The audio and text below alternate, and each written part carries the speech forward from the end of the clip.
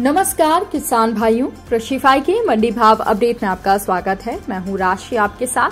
आइए देखते हैं उत्तर प्रदेश की अलग अलग मंडियों में फ़सलों के क्या कुछ दाम रहे।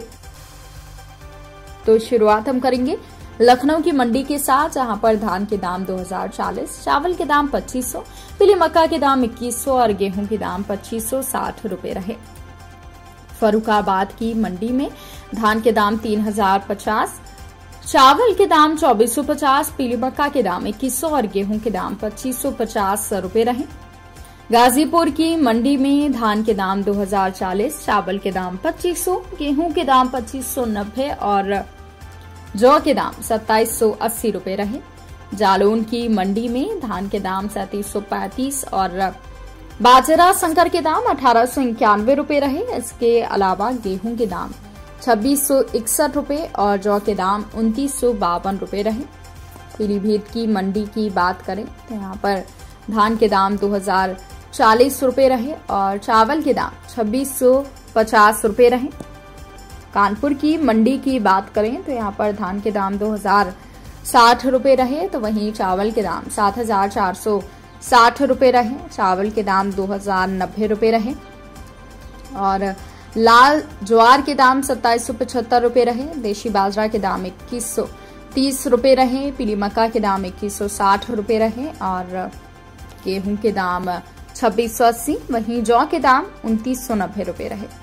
अब बात करेंगे दलहन फ़सलों की तो आजमगढ़ की मंडी में हरी मूंग के दाम सात हज़ार सात सौ पचपन रुपये रहे, छोटे चने के दाम चौवन सौ साठ, मसूर दाल के दाम सात हज़ार आठ सौ तीस काली उड़द के दाम सात हज़ार चार सौ पैंतीस, सफ़ेद मटर के दाम पाँच हज़ार नौ सौ साठ और मटर की दाल के दाम छह हज़ार चार सौ तीस रुपये रहे।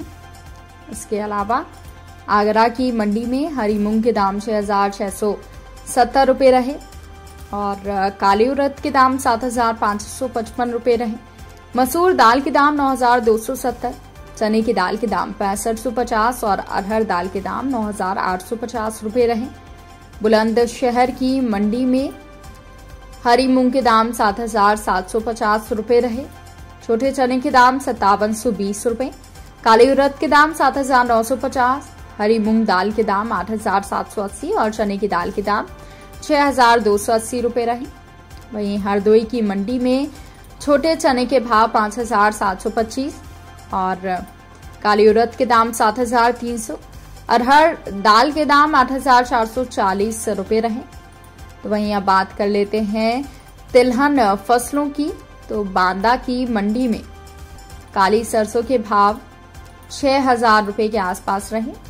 झांसी की मंडी में सरसों तेल के भाव सोलह हज़ार रुपये के आसपास रहे। वहीं प्रयागराज की मंडी में मूंगफली के भाव छह हज़ार तीन सौ पचास रुपये रहे। काली सरसों के भाव छह हज़ार चार सौ रुपये रहे। सरसों तेल के भाव सोलह हज़ार, सरसों खली के भाव उनतीस सौ, अलसी छोटे दाने के भाव सात हज़ार पचास और सफ़ेद तिल के भाव ग्यारह हज़ार आठ सौ रुपये रहे।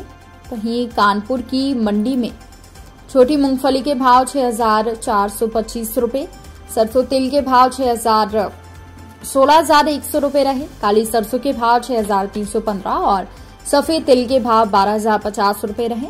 ललितपुर की मंडी में छोटी मूंगफली के भाव बावन और सरसों तेल के भाव पंद्रह हज़ार दो सौ पचास रहे। किसान भाइयों, ये रहा आज का उत्तर प्रदेश का मंडी भाव अपडेट। कृषि से जुड़ी और भी खबरों की अपडेट्स के लिए आप बने रहिए कृषि फाय के साथ। धन्यवाद।